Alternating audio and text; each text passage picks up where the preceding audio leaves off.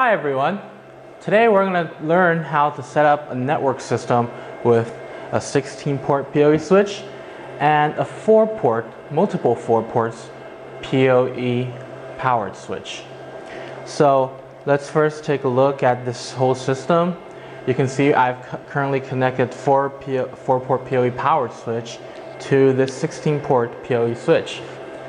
This will centralize all the power and data from these four powered switches and gather them all to this PoE switch. So what's the benefit of this? Well, first, there's only going to be four ports occupied on the PoE switch, 16 ports. We're going to have to like take uh, four of the high power ports because we're going to supply power and data to these four.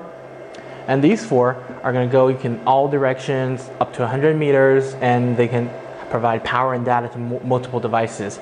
So by only taking four ports of the 16 port PoE, PoE switch, we can connect up to 16 IP devices. Really convenient.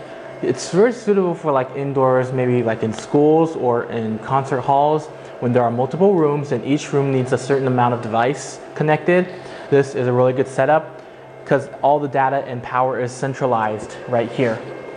Another good thing is we can also put like a, you know one of those backup batteries. Uh, it's called an un, called an uninterrupted power supply, the US the UPS, and that will constantly running power with this PoE switch.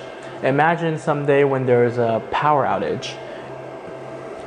The power outage will you know cause all the power to cut off and then our switch will be still having a little power left, maybe give us 10 to 20 minutes remaining time to, you know, save some of our work or, you know, uh, prepare some executing measurements, anything that will help us, you know, survive the short moment of power outage. So the two parts are mainly the PoE switch, 16 port PoE switch, and the 4 port PoE powered switches.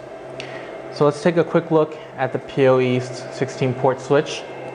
So like its name, it has 16 ports right here. And the four ports we connected, and the, there are a total of eight of them. They're all high power ports. They will output a massive amount of power to, you know, because they have to support the other end of the powered switches and their IP devices. So they all, these eight ports are high power ports, and the other eight are just regular PoE ports. You can connect like uh, close devices to them because they don't take that much power. And then we also have a few fiber optic uh, plug pluggables here, so we can connect it to our fiber optic cables for longer transmissions, and that's pretty much it. This is a brief introduction for our 16 port PoE switch. And let's take a look at the main role today. So these are the 4 port PoE powered switches power switch that work really special. They are like a power device and a PSE, a power supply equipment. They receive the power and data from this 16 port PoE switch. When once they receive it, they'll divide it to other four devices acting as a power supply equipment.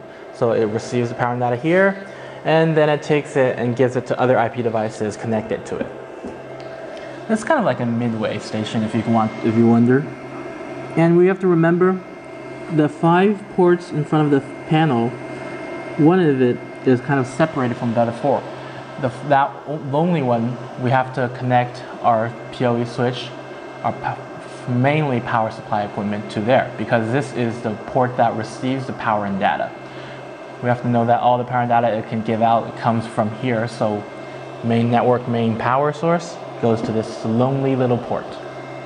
And the other four are just regular uh, PoE ports which comply with the IEA 802.3 AT uh, protocol. In this, they have a maximum output at 30 watts. It's pretty enough for most of the IP devices, except for the large, massive machines. So, and also, these are once they're connected, you know, they can output up to four, and all the, the bandwidth is wide enough for all four occupying them and sending them data back, the bandwidth is high enough to process the data. So it's really efficient and convenient. And last but not least, what I think is the most efficient of these PoE powered switches is because they receive the power from the PoE switch here, they don't need like an extra power cord. So when we're planting it in our locations, we don't have to worry, oh, is my power cable long enough? Is there a power outlet for our AC alternating current? We don't have to worry about those anymore. All we have to do is find the perfect spot and just simply install it there and ta-da, we can just simply connect our IP devices to it and everything will be good to go. And now I'm just going to show you guys a simply, see, I'm going to connect two IP devices to it quickly, just let you guys see it works. So this is wireless access point. So we're to put this in one of our classrooms and now it's on. You can see it is currently blinking. Indicators are on, meaning it is currently powered through. And now this is one of our security cameras, say outside of the hallway for children's security purpose. We may need one of these. And then connect it to another different switch. So then you can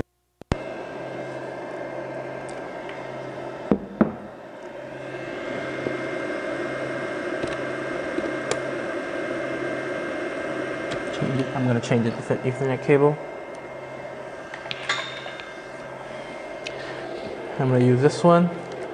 That one's a little bit malfunctioning. Connect it to this over here. And then the indicator is on as well, meaning this camera is currently receiving power and data. All right. So that's pretty much it for this video. If you guys have any more questions, you can leave them in the section below. Thank you guys for watching. I'll see you guys next time.